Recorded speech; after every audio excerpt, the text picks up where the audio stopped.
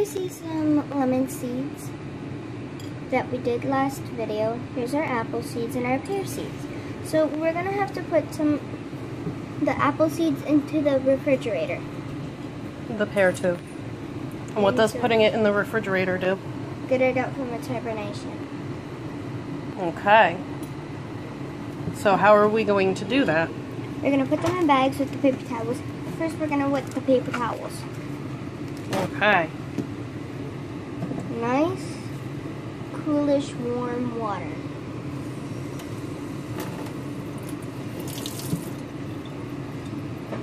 And we wring the water out, right? Not all of it, just most of it. Okay. So what do we do then? Then we put the pear seeds in. Okay. We put the pear seeds in and we what? And then we wrap it up. My mom is gonna do the wrapping. All you do is you just fold it in half, fold it in half, fold it in half, fold it in half. This way you can kind of watch them through the top layer. Then you put them in a Ziploc baggie. Badoom, badoom.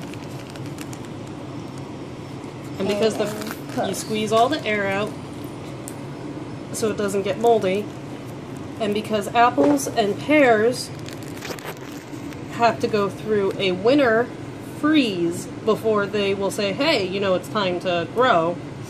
If you put them in the refrigerator, it stays cool, but it's also warm enough that they are able to start germinating. So we leave them in the fridge until they germinate. So, what are you craving today? I don't know. I'm craving pizza. All right, we're going back. We're still recording. You left it on record, Ember. Well, anyways, the lemon seeds we're going to put up on the refrigerator so that they could germinate in the heat. And then the pear and the apple are going to go into the refrigerator. Seeds don't need light to germinate. They need moisture. Some seeds need to be a little cooler, some seeds need to be a little warmer. Most seeds prefer to be warm in order to germinate. Thus, putting them on top of the refrigerator or in the refrigerator away from the light will help them to germinate faster. Now, we're going to go on to an update. So here we have. Wait. This is Ember's apricot pit that she grew from the seed that I showed you how to get out of the shell. So that's what it's looking right now. You can kind of tell that the dirt got a little bit on it, but that's okay. So the um the the dirt is moist and we have food for the plant in here and you gotta keep it by the window. Trees typically like a lot of light, especially fruit trees. So the closer to the window you put them, the more likely they are to do well. This is kind of bent because I forgot to turn it, so it's been growing to the light. So when I put it back, I'm going to put this side to the window so it straightens itself out. But when this gets bigger, maybe next year, we're going to plant this outside. So here you see a dragon fruit cactus. Its prickles are still pretty soft, but as it grows bigger, you you will be able to hurt yourself, cut yourself, or even um, bleed by accident. So this these need a lot of light, not so much water, and so I got this from a dragon fruit, which has a lemony, sour, that sweetish taste kind of tastes like a pear and a lemon. So I took the seeds out and I put them in here. As you can tell, No, no, no. You put them in a paper towel we put them in the paper towel. until they germinated, and then you put them in here. so you can see an air root right here. My mom's going to tell you about that. So this is a vine, even though it's a cactus. So it'll set out air roots, and anywhere that it touches soil, it'll grow more roots. They're very easy to root, and they're not that fast growing. However, this one we've had maybe a year now.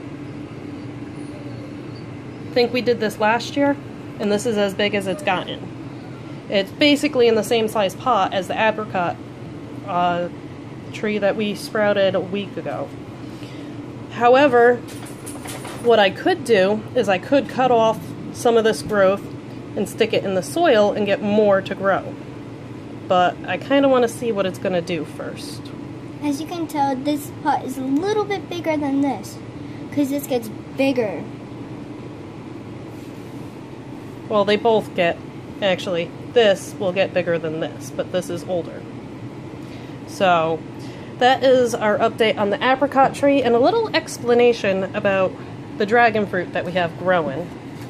Now, so we're bringing back our nectarine and our pomegranate with some of our other seeds. And we're going to check on them to see how they do. We started to germinate these on the 9th, so about a week ago.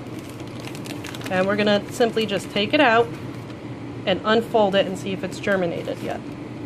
And if it doesn't, then oh, we just fold it back up and put it back in and wait a little bit longer. It looks Don't like they're it. starting to rot.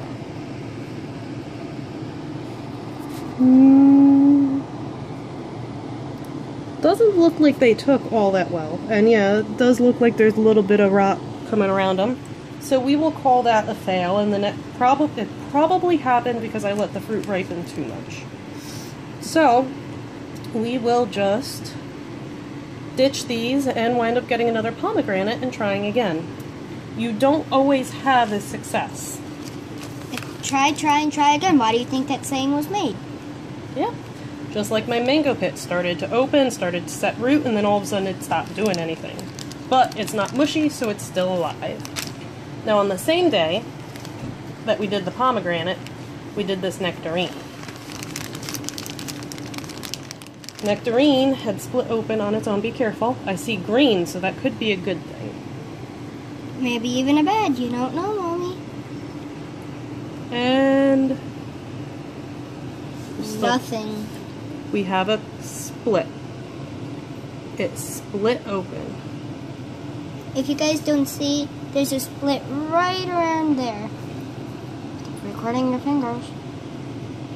So, I've never grown it before, but it looks like it split open and died. That's what an inside of a seed looks like. For an apricot, and you're recording your fingers. And I guess we're going to call that a failure too. Throw Just so you know, they don't look as small as the Anyways, these little wrinkly seeds up here are typically what nectarine seeds look like. And those are more apricot pits. So we're going to germinate those two and see what they do. When you buy when you buy fruit at the store, a lot of the times it's a hybrid of different kinds of the same fruit. They want to get something that's going to last long, something that's going to grow fast. And in the process, they make it so that the fruit seeds will not germinate. Not all of the time does that happen. So, when you're germinating fruit from grocery store produce, it's always hit and miss.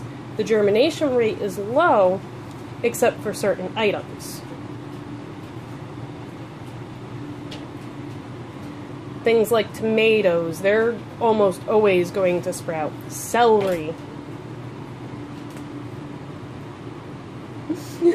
Celery, you can buy a heart of celery, chop the bottom off where the roots are, stick it in water, and they'll start growing roots. And you plant that. Same thing with garlic. And a lot of the times, the people who make the produce, they will spray it with stuff so that it doesn't grow like potatoes. That doesn't mean that you can't grow it, it just means that it's going to be harder to grow it. So in our next video, I'm probably going to start recording it tomorrow because these are nice and ripe. These are golden kiwis. I'm going to try and do the same thing and see if I could get these to grow.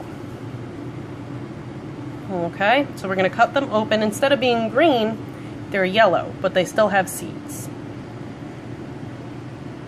Now, I want to bring you up to a more serious matter.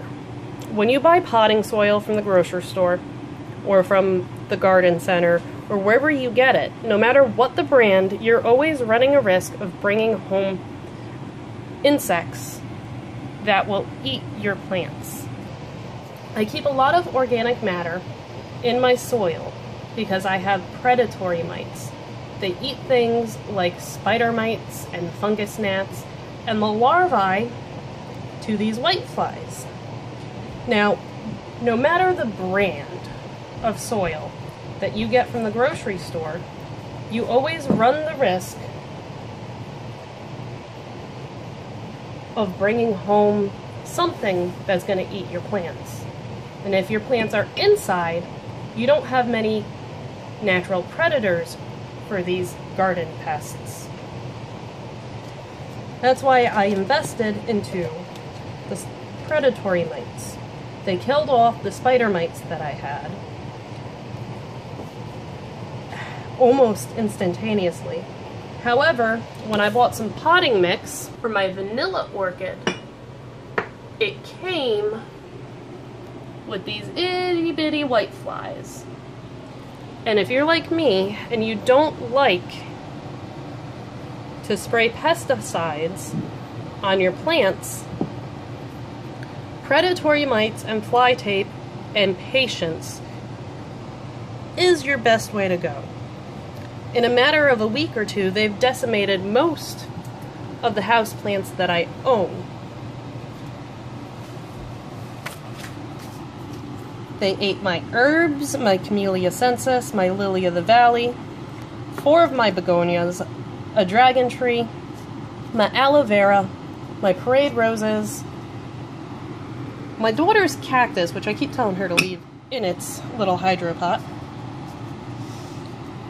my jade, two of my purple passion plants, and one of my succulents, which I'm not sure other than it's a succulent as to what it is. What white flies do is they fly close to the soil and they walk around the soil and they lay their eggs in the soil. And their larvae that hatches out of the eggs, well, they eat the roots to your plants. These guys are currently attacking my tangerine tree. So I've been in communication with the company that I bought the potting soil from. And they've already offered me a refund for my potting soil. And we're going back and forth to see if they're going to replace the plants that the whiteflies from their soil gave me. So it's important to know how to grow your own food. So if you're at a farm and you don't have any like these groceries or something, you can learn how to grow celery, tomatoes, dragon fruit, peaches, pears, watermelon. I believe we're going to do a video on that once the seeds come in. And if, if you guys don't know how to cook your own food, I only know how to cook eggs. So if you guys don't know how to cook your own food, you should learn by watching my mom's videos. Sometimes she does them without me, like this soup video. And then she's gonna do some with me. If you like this video, subscribe. Don't forget to help these buddies by planting your own.